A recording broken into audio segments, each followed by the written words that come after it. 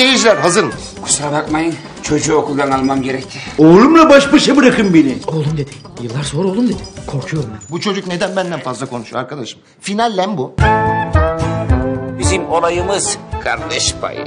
Kardeş payı konuşmamızı yapalım. Dağılalım artık ya. Becerebildiğimiz tek şey şarkı söylemek. Oğlum size kim şarkı söyletir lan? Baktım bebeler rezil olacak kol kanat gerdim. Divrikteki tarlamı satıp albüm çıkarttım bir işaretlere. Çok satmadım. Bu çocuk mal ya.